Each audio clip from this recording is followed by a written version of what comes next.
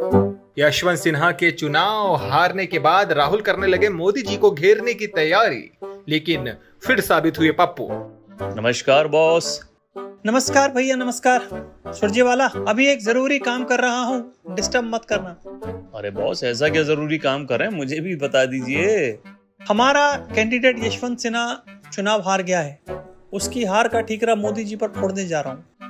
अरे ले, ले, लेकिन लेकिन आप ट्वीट में लिख क्या रहे हैं? ये तो बता दीजिए। अरे मैं लिख रहा हूँ एक बार फिर। मोदी जी ने ईवीएम हैक करवा दी और हमारे कैंडिडेट को हरा दिया है। अरे बॉस बॉस बॉस आप पप्पू ही रहेंगे भाई।